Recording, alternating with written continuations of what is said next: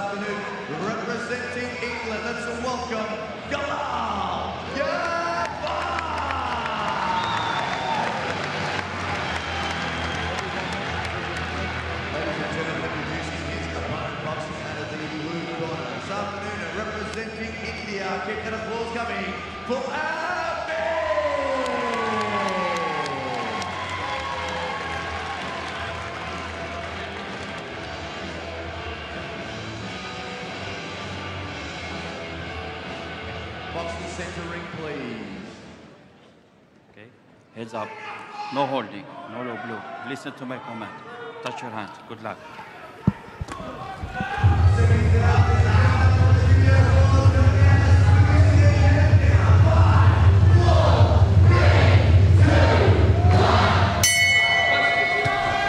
This is 49 kilogram light flyweight action between boxers from India and England in this gold medal bout. Two skillful southpaws squaring off for a place on top of the medal rostrum.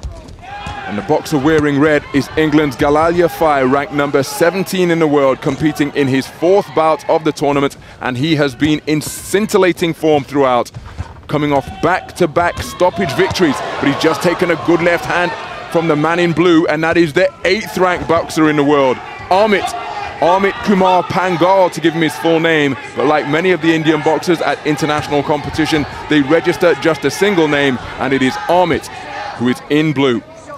Well, if ever there was a way to start a contest to, to show that you mean business, it was at the start of this one for Yafai. He was straight out on the front foot and taking the contest to his opponent.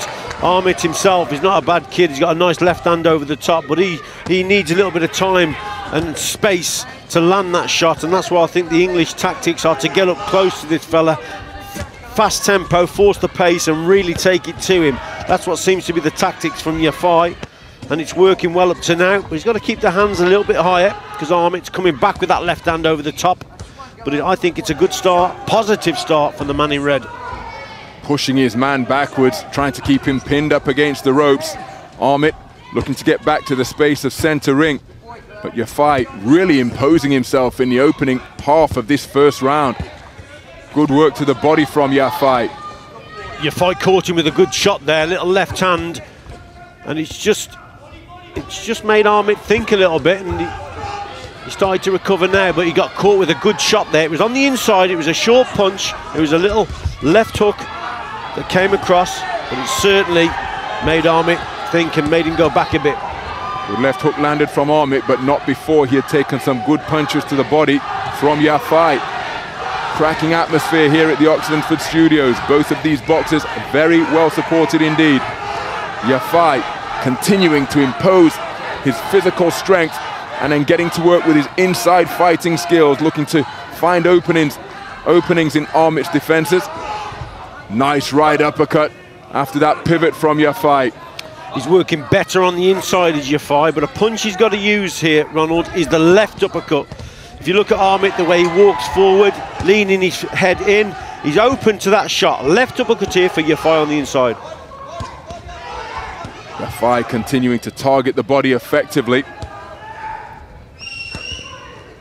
And Amit, well, he's demonstrated that he can fight both ways, but for the majority of this tournament, he's been the boxer on the front foot. So something of a new experience in the context of these Commonwealth Games, in that for the most part, he was being forced backwards by the incessant front foot pressure of Galal Yafai. Good round for the man in red.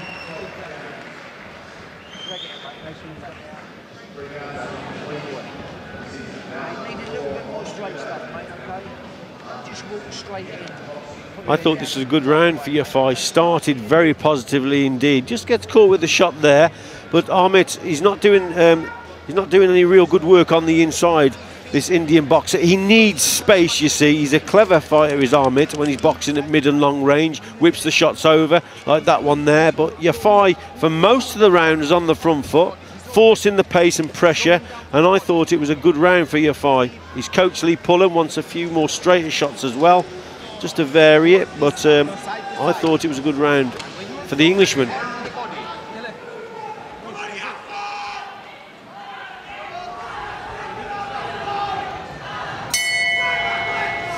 Into the second round then.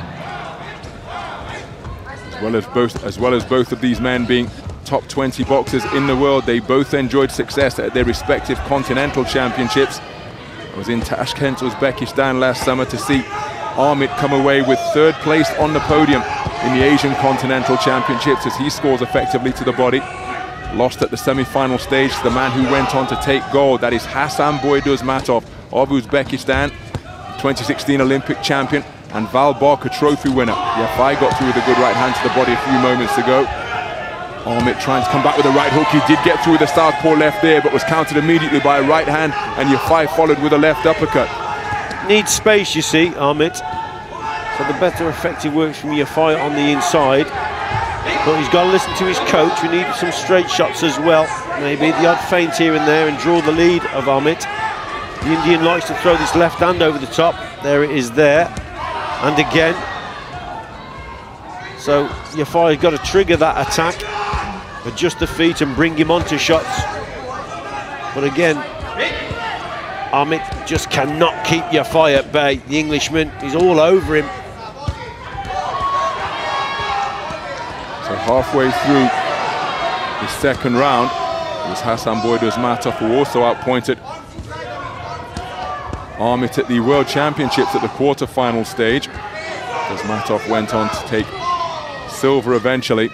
And in his Continental Championships, Yafai came away with second place on the podium losing a very narrow 3-2 split against Vasily Egorov of Russia in the gold medal bout. So both of these men on the rise through their respective continents and indeed globally. Jockeying for Tokyo 2020 begins now, but more immediately it's still Yafai bulldozing his man backwards and the busier boxer on the inside. Yes, he is. He's got to use his jab a little bit better, though, has Yafai, when he's closing the gap down. But nevertheless, the better work is from the Englishman on the inside. And remember, you know, boxing isn't all about mid and long range. Inside work as well, short range, and we have an example of it here from Yafai, who's working very well. But Amit is always in this contest. Give him a bit of space, and he's very dangerous, but it's definitely Yafai that's doing the better work on the inside at short range. Both of these nations sent 12 strong teams to represent here at Gold Coast 2018. England leading the way in terms of finalists with seven. India right behind them with six. Good left hand over the top was a nice counter shot from Amit right before the bell.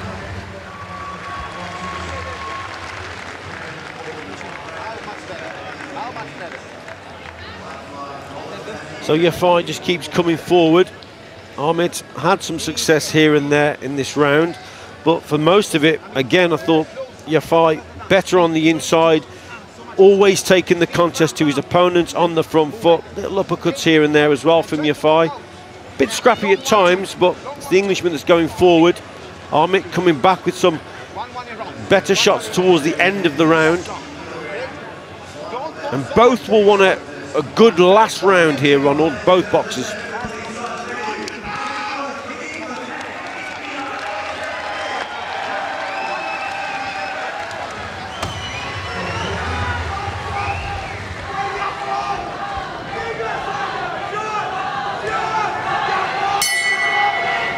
So into the third and final round then. Galal Yafai marching across the ring again is immediately targeting the body of the man in blue, but then look at the right hand and left hook success. Excuse me, left hand, right hook success upstairs, scored by Amit. But Galal Yafai just proving irresistible. He will not concede any ground, and in these type of grappling exchanges at center ring, it is he who is proving the stronger, driving the man backwards, and he's busier with his hands, and he's landing the more effective work. I thought he, might have hurt Amit there to the body. A couple of good body shots that went in from Yafai. Amit is still trying to rally, but he's less effective on the inside. But Amit, with that left hand over the top, he needs again a little bit of time and space to land that shot. Yafai's got to keep his right hand a little bit higher as he's going forward to try and block that left hand over the top. But again, good body work there from Yafai. Good right jab through the middle, followed by a left from Amit. But again, they were straight shots, just illustrating the point that when given space, this man is incredibly dangerous. Yafai trying to deny him that, right back into the pocket once again, pushing him back with the shoulder, continually letting his hands go from both flanks. Good right hand to the body from Yafai. Amit still tucked up on the inside, looking for his own punches, but he's less effective through that portion of the round. There was a good right jab catching Yafai as he came in. Yeah, hurtful shots downstairs from Yafai. Amit desperate to maintain or get a gap between himself and the Englishman. But again, Yafai will not leave him alone on that front foot. Keep switching the attack with them hooks to the body, then the head. Now Amit is coming back. Tracking contest. Yep, Amit getting onto the front foot. Good left uppercut on the inside from Yafai was landed. Yafai pushing his man off once again. One of the boxing brothers, Yafai, out of Birmingham, learned his trade at the Birmingham City Club, where the stalwart is the venerable, long-time boxing lifer, Frank O'Sullivan, MBE, and he and the other two Yafai brothers all learned their trade there. Galal emulated older brother Kalu when European silver in 2010. Already mentioned that Galal oh. did that last year. The mouthpiece has come out. That's an old trick from Amit there, just to get some more time, just to buy a little bit, bit of time there. Clever. Well, he's no doubt going to rally now, having had that brief intermission. And so too is Yafai, of course. And both boxers continuing to compete keenly in the closing seconds of this third and final round. Amit is really feeling the pace now, this Indian. Again, struggling to hold in the mouthpiece. 10 second clapper has sounded. Amit trying to get onto the front foot. Yafai holding his feet and Yafai raises his right arm immediately because it was three minutes of non-stop pressure and effective aggression from the man in red. Amit played his part. He wasn't overwhelmed, but I think he was outworked. And surely it's Galal Yafai who will go through to claim Commonwealth Games gold. We're going to the five scoring judges. How will they see this contest? Well, right from the first opening bell, Yafai on that front foot. Great example of short range work. Let's see how it goes.